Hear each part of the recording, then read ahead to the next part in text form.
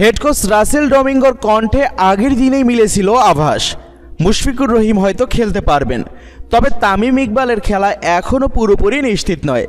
কোচের কথা শুনে মনে হয়েছিল মঙ্গলবারই হয়তো তামিম মুশফিকের ব্যাপারে সব জানা যাবে।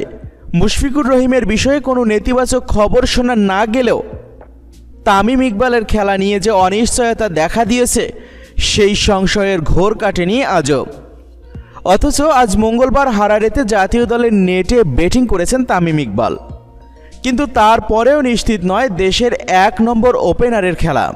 অধিনায়ক মমিনুল হক ম্যাচ পূর্ববর্তী সংবাদ সম্মেলনে নিশ্চিত করে বলতে পারেননি যে তামিম ইকবাল খেলবেনই টাইগার অধিনায়কের কথা শুনে মনে হয়েছে টিম ম্যানেজমেন্ট ম্যাচের দিন সকাল পর্যন্ত দেখবে। মানে বোঝাই যাচ্ছে কাল মাঠে গিয়ে একটা ফিটনেস টেস্টের মতো হবে তামিম ইকবালের জন্য। তাতে উতরে যেতে পারলেই হারারের টেস্ট খেলা হবে টিম বাংলাদেশের অন্যতম ব্যাটিং স্তম্ভের।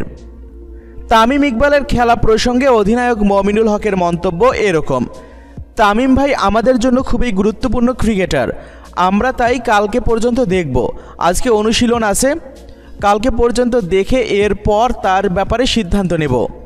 কী কারণে তামিম ইকবালের ব্যাপারে টেস্ট ম্যাচের সকাল পর্যন্ত অপেক্ষা? তবে কি তামিম ইকবালের হাঁটুর ব্যথা সারেনি?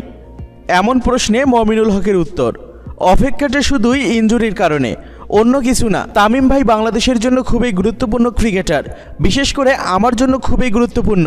এ কারণে তার ইঞ্জুরির ব্যাপারে আমরা সময় নিয়ে দেখছি। তার মানে রাত পোহালেই টেস্ট অথচ দলের এক নম্বর ওপেনারের বিষয়ে কেন সংশয় সেই প্রশ্নের উত্তর মেলেনি। দলনেতা আহমেদ সাজ্জাদুল আলম ববি মুঠোফোনে জানান, আজ রাতে টিম মিটিংয়ের পর বলা যাবে। টিম মিটিংয়ে যে সিদ্ধান্তই হোক না কেন, বাংলাদেশে তখন থাকবে মধ্যরাত। তার মানে তামিম ইকবালের বিষয়ে জট খুলতে খুলতে বুধবার সকাল ঠিকই হবে। এদিকে বাংলাদেশের বিপক্ষে টেস্ট শুরুর একদিন আগে মাঠের বাইরে ছিটকে পড়লেন জিম্বাবুয়ের অধিনায়ক শন উইলিয়ামস এবং তাদের অন্যতম সেরা ব্যাটসম্যান ক্রেক অরভিন। কোনো ইঞ্জুরির সমস্যা নয়, করোনা আক্রান্তের স্পর্শে আসায় টেস্ট থেকে ছিটকে গেছেন তারা। জিম্বাবুয়ে ক্রিকেট জানিয়েছে, উইলিয়ামস এবং আরভিন বর্তমানে আইসোলেশনে রয়েছেন, তাই দলের সাথে যোগ দিতে পারেননি। তারা দুজনেই তাদের পরিবারের সংস্পর্শে ছিলেন, তবে পরিবারের সদস্যরা করোনায় আক্রান্ত হয়েছেন। জৈব সুরক্ষা বলয়ের প্রোটোকলে থাকা জিম্বাবুয়ে স্কোয়াডে তাই এখন খেলোয়াড়ের সংখ্যা আঠারো জনে পরিণত হয়েছে। ম্যাচের আগের দিন নতুন করে কাউকে স্কোয়াডে অন্তর্ভুক্ত করা হয়নি উইলিয়ামস আর আরভিনের বদলি হিসেবে। উইলিয়ামসের পরিবর্তে দলকে নেতৃত্ব দিবেন আরেক অভিজ্ঞ ক্রিকেটার ব্রেন্ডন টেলর।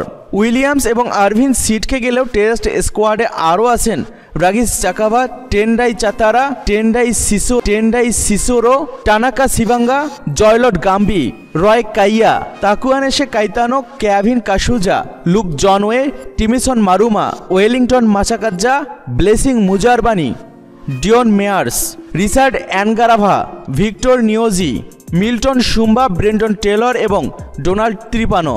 আপনাদের সবাইকে জানিয়ে রাখতে চাই, আগামীকাল বুধবার সাতই জুলাই বাংলাদেশ সময় দুপুর দেড়টায় শুরু হবে স্বাগতিক জিম্বাবুয়ে এবং সফরকারী বাংলাদেশের মধ্যকার একমাত্র টেস্ট ম্যাচ। সফরের সবগুলো ম্যাচের মতো এই ম্যাচও অনুষ্ঠিত হবে হারারের স্পোর্টস ক্লাব মাঠে।